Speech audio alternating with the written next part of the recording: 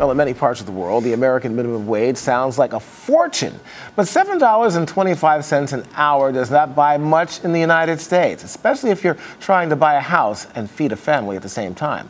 So it's a big deal that the City Council of Los Angeles voted to more than double the federal minimum wage over the next few years. In fact, by 2020, it will be $15 an hour. Well, LA joins other cities seeking to lift up the working class by raising up their wages. Employers don't like it, but the trend is definitely clear. More than half the states in America have mandated wages higher than the federal amount. I think that was $10.10. Nicholas Fortuna is an employment law attorney. Uh, I guess the question here is, that, that, and I was saying during the break here, there are a lot of unknowns. I mean, it certainly it's a good thing in a city like Los Angeles, but say in a city like Sacramento, where the mayor Kevin Johnson, who's president of U.S. mayors, is pushing this there. Uh, but the, the fact of the matter is, there the cost of living and then housing is not as high, and some say that might cripple an already struggling economy.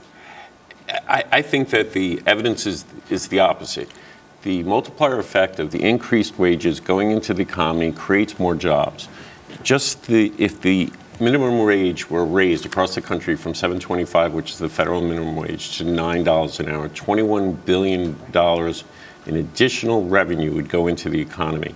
In the low wage worker situation, they spend almost all of the money they have. They have a zero savings rate, so all of that money would go back into the economy and some studies have shown for every extra billion dollars, there's 4,000 jobs created. But you know, I, I got to tell you, Nick. On one hand, uh, you know, there are a lot of people that live paycheck to paycheck. Let's let's talk about a struggling middle class here. Right. The issue is, look, and, and don't get me wrong. I think everybody, including myself, wants to see people make more money.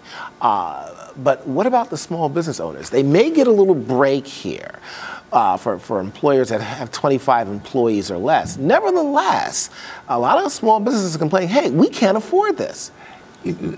There's another way to look at it. Right now, the federal and state governments are subsidizing those small businesses, or even large businesses, Walmart's, mm. fast food industry. $153 billion in public assistance goes to low or minimum wage workers every year.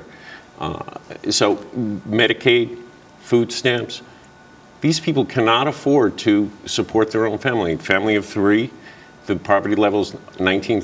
Mm. If you're making minimum wage, you're only making a little over 15000 But Nicholas, the question still remains. In LA, okay, some would say we can see that, but in a smaller city, uh, do they really need to raise a minimum wage to $15 an hour where the economy perhaps may not support it and perhaps may not need it? Under under any circumstances, so LA, 50% of the workers are minimum wage workers. That's an incredible percentage. Mm-hmm. But, you know, to your point, each city is a little different. The cost of living is a little different. If you do cost of living adjustments as to the minimum wage, you might not have to go as high as LA. But pointing out LA, LA is not really that high. At mm-hmm. $12 an hour, there's still families that are going to receive public assistance. And this is phased in over five years. So by the time you get to the fifth year, inflation is going to eat away at that $15. But there is an argument to be made that regionally it could be at different levels because the cost of living is different. Right now, though, 725 doesn't support anyone in any region. You know, I, I got to tell you, Nicholas, I just wonder if, if, if, if uh, uh, the United States is in a, a huge morass here. Because you talk about federal subsidies uh, for some of these small businesses, but here you have a country right now that has a, a huge deficit that's fighting to, to, to, pay it off, to get it down, and now you're talking about paying out more money through the federal government. Where does it stop? You know? Well, actually, I was saying something slightly different. Is that currently we're paying $153 billion in public assistance. So if we mm-hmm. raise the wages for those workers, that number would decrease substantially. Okay. You know, because no longer would federal government be paying Medicaid for working working people who are working full time. No longer would they be collecting food stamps. They'd be able to buy their own food. You know, at this point, I think I think it's fundamentally unfair that that that that businesses and I represent employers. Sure. Businesses um, are able to cut the wages so low that their workers can't feed themselves. Mm-hmm. Um, in the circumstance where uh, if if they if they paid their workers well enough, do we really need to pay buy a hamburger for 90 cents, why can't we buy, pay a dollar and a quarter for a right, right. hamburger?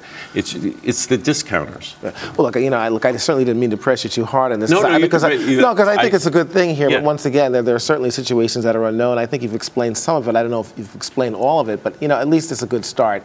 And uh, people should be getting, I, I would assume, paying, getting paid more than what they're, they're paying now. Nicholas Fortuna, thank you for joining us. Thank you, I appreciate it. All righty.